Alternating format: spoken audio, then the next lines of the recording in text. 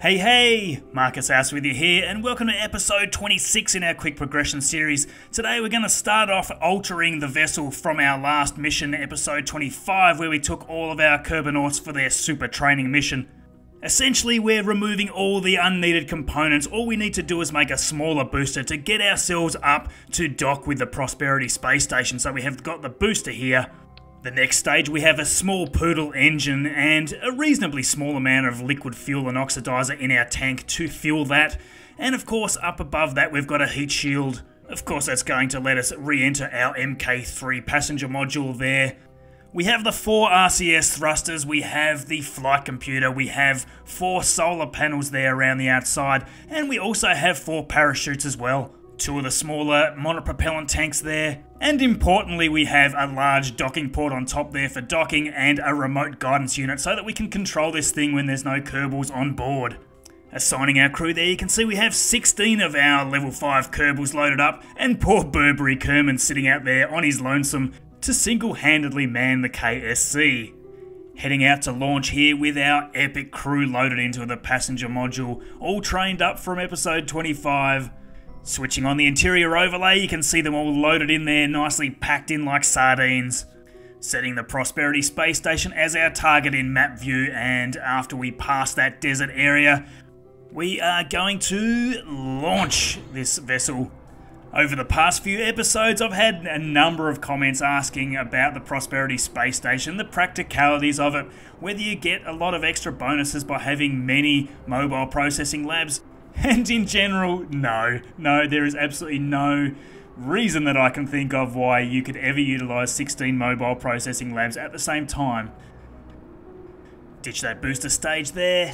So even though there's limited practicality with the space station, that doesn't mean it's not fun to build one. And really, just being able to practice a lot with docking maneuvers, this is what gets you the experience to have a lot of fun with the game. Now that we're on the Poodle engine there, you'll see that we're pointing slightly upwards still on the nav ball just to ensure that our time to apoapsis just stays around the 1-2 second mark. The reason we want to do this in this situation is because the Prosperity space station is orbiting up at around 90 kilometers and we want our apoapsis to basically keep sitting on that mark roughly. So burn complete there, we're now in low Kerbin orbit. Basically now what we want to do is ensure that when we come around from our orbit we're going to fall in at the same position as the Prosperity space station and to do that we need to make our apoapsis higher on the opposite side and this is going to mean that it's going to take us longer to complete our orbit. Of course, because the Prosperity space station itself is now coming around faster in the orbit, we're both going to meet up at this intersect marker here. Remember as well, you can use the RCS to just finely tune that intersect. Remember those H and N keys, they're very handy for doing this. In we come here to the station now, and of course, as we come in, we want to turn retrograde and wipe off all of the relative velocity. Once that's done, of course, we need to turn towards the target, do a small burn again just to approach. There we go. At this distance, 10 meters per second is plenty, so we'll immediately turn retrograde and get ready to wipe that off as well. There we go. Now that we're ready to dock, we'll set that target docking port as our target. To make docking easier, we'll turn on our RCS and switch into locked camera mode. And this just means that our viewport is in relation to the directions that we move when we're doing our translation maneuvers. And we'll use the I, J, K and L keys along with the WASD keys to control both our rotation and our translation in relation to the docking port. Only 20 metres distance there. Just wiping that velocity off by thrusting in the opposite direction Another common question I get is why I don't use the docking view to do the docking instead of what I use, which is staging view. And this is essentially because in staging view, you can actually do translation and rotation movements at the same time. And this is much better in my opinion. I don't even see the point of docking view most of the time. I'm doing a pretty damn poor job of docking this because I'm not concentrating, I'm trying to talk at the same time. Come on, and dock there. So finally got it. Now we just need to transfer the Kerbals across by right clicking on our MK3 passenger module and essentially transferring them into the MK3 passenger module on the Prosperity space station. Fast forwarding the video through that of course because it's boring to watch and essentially now we're just going to undock our little transport vessel here and just maneuver away uh, and it will continue orbiting around Kerbin, that'll be quite fine. Essentially, this vessel is now here orbiting for when we actually return with our Prosperity space station, or when we have some other use for it. The first mission we want to do with our Prosperity station is to redirect an asteroid, and I've been wanting to do this episode for a long time. So we've got to pick an asteroid, there's lots to choose from when you've unlocked your tracking station. But the one I've set it on here is a large asteroid which is going to come in quite close to Kerbin and it's going to mean we can get a relatively easy intercept compared to some others. If we zoom into Kerbin, we can actually see exactly where it's going to pass, and the ones you want to pick that are easiest to redirect are the ones coming in close to Kerbin and also don't have a real polar inclination of some sort that is going to be really tricky to redirect down into. So this one's passing by at 5,500 kilometres, so that's a great option. We should even be able to actually change its inclination to match that of the moon's. So we'll head now back to our Prosperity space station and the great thing is that we can actually look at all these intercept lines for the asteroid from our map when we're using the Prosperity space station as well. All we need to do there is set the asteroid as our target and then we'll actually see that asteroid orbit line so that we can actually get ourselves quite close to that. Planning a maneuver here to basically raise our apoapsis so that it comes out to meet close to that orbital line of the asteroid. So we'll just time warp around until we're ready to do our burn, and this is going to take multiple passes. Obviously with such a massive vessel, even with this amount of Nerv rocket motors, it's going to take quite a bit of time. You'll quite often see this technique used when people are flying SSTO vessels that have got very low thrust to weight ratios. It's just to make your burn more efficient. Obviously skipping over a lot of that and finishing that first burn, and we're going to again make a few passes at this We'll just update that maneuver node for our second pass around. Each of these burns takes around 3 to 4 minutes, so you do have to be patient when you're trying to maneuver a vessel of this size. Again, coming around for our third pass, this one will get us all the way up there to that asteroid orbit line. You can see there that the Prosperity space station itself is quite stable, now that we've finished that burn, the next thing to do is adjust our inclination. So we're coming up here to our descending node and we're essentially going to do a normal burn to actually make sure that our inclination matches as closely as we can at this point with the asteroid that's going to come in. It is quite a large inclination change we're doing here, so we're at about 10 degrees there now. Bringing that right down and engine cut off there, that's about perfect. Now the next thing we need to do is boost up our periapsis and this is simply so that we can orbit way out from Kerbin and actually time warp really quickly so that we can await the asteroid until it gets in here into Kerbin's sphere of influence and really there's no reason why it can't be early when you're planning this. So we'll cut the engines there, that'll do.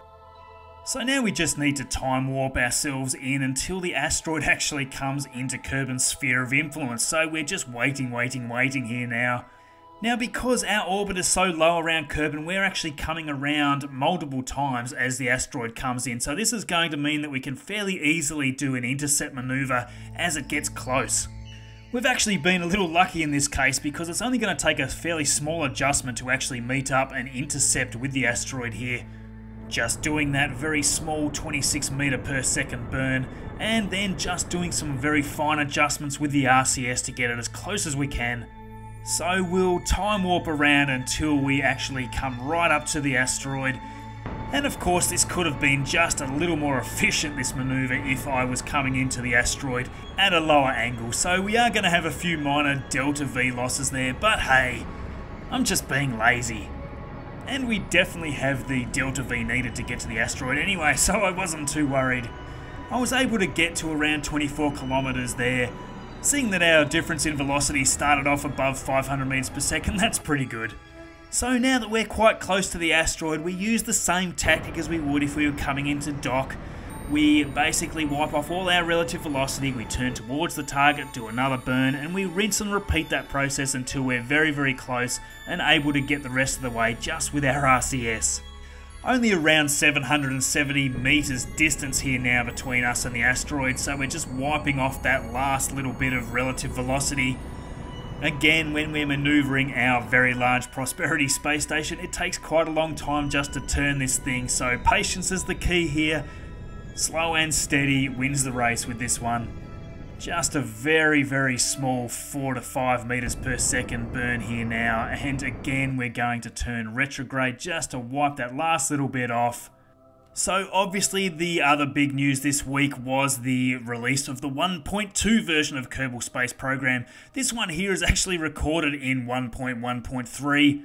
So, just keep in mind that if you are trying to build this fresh, you're probably going to need to make some extra considerations in regards to the antennas that you use and anything of that nature because the 1.2 version has had a massive upgrade in terms of the communication systems. That being said, anything that has a pilot on board should be fine because obviously with a pilot you can always control the vessel. Just zooming out here so we can see the entire asteroid and the space station in the one shot. Just wiping off those last few meters per second before we turn around and grab hold of this asteroid with our grabbing unit. Again, we'll do a long-winded turn here to actually face the asteroid again. We've got the advanced grabber unit armed and we're basically going to try to come in and just hit around the center of the asteroid. It's important to target the center of mass by right clicking on the asteroid and choosing that option. Ah, didn't grab. Come on, come on, grab. There we go, got it. Now we're basically turning the asteroid retrograde and doing a small burn to start reducing our velocity. And at the same time we're going to start refueling our tanks. And this is because by now we've actually lost all of our oxidizer. And we need oxidizer in our tanks just so that we can power our Vernor engines in our very first booster stage of the Prosperity space station. We can stop that there now because we only need a little bit of fuel just to fill up some oxidizer and this is going to mean that as we push the asteroid, our Vernor engines can push us and keep us on track basically pointing retrograde as we wipe off the rest of the velocity needed to get us into a Kerbin orbit. So we'll just complete the burn that we'd started here and you can see there as we come around, the Vernor engines have actually got enough power to really push us back and fight any sort of movement that we've got going on. Now, with some vessels, you will have a lot of problems with docking ports kind of bending and twisting and that sort of thing. I've been pretty lucky here, but there is a great mod called Kerbal Joint Reinforcement, which will actually limit the bending that will actually occur on your vessel. So that can be a good option if you're really fighting the Kraken with this kind of thing. The next thing we want to do is basically raise the periapsis so that our orbit becomes largely circular. So we're going to time warp up until we get to our apoapsis marker and we're going to do a prograde burn to just extend that periapsis way out. Just under a 120 meter per second burn here. The other great thing about raising our periapsis at this point is it means that our entire orbit is going to be slower as we approach down around the intersect markers needed to actually change the inclination of the asteroid and ourselves of course. You want your relative velocity to Kerbin to be as low as possible when you're doing your inclination change and that is a great reason to be doing this now rather than doing an inclination change first. So we've set the moon as our target here and we want to time warp around to the ascending node in this case because it's a further distance away from the center of Kerbin than the descending node is. So we're going to be moving at a lower velocity at our ascending node which is why I've chosen that one. So this was a 130 meter per second burn just to adjust that inclination so we're skipping over this so as we get close with that relative inclination, you can see there in the top left, Kerbal Engineer is telling us that we're very, very close there, bringing that right down.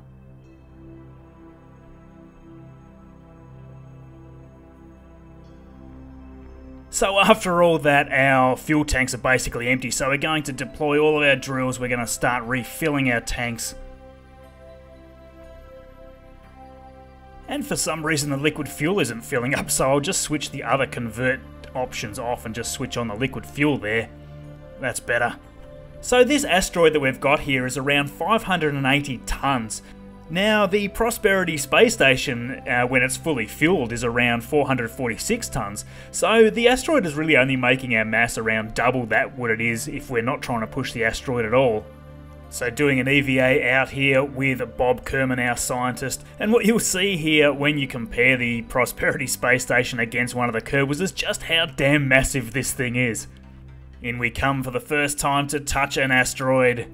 Now what you'll notice is you can't do an EVA report around an asteroid, you don't get any science for that, which I think is a bit of a shame. A lot of other science instruments are like that as well, but we can take a surface sample.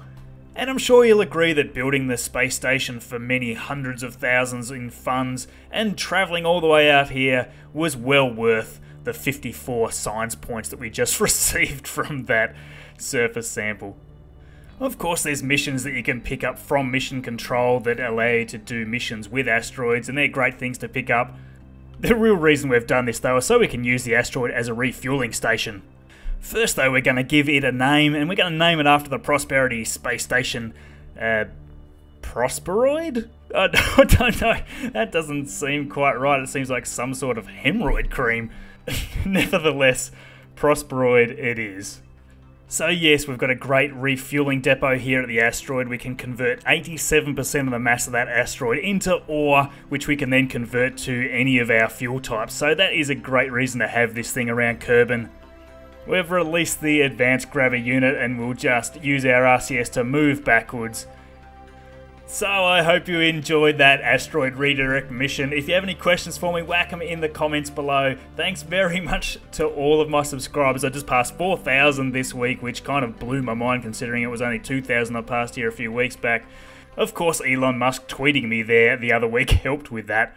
For those that haven't subscribed, please do subscribe to see more. Follow me on Twitter at MarcusHouseGame, and we'll see you in the next video. Just like with Pol, the experience that we're going to pick up here around Vall is identical, so we're going to get 20 points for planting these flags. Again, planting the flags is only worth 1.6 extra experience per Kerbal, but we'll do it anyway. There we go, all flags planted, that's beautiful.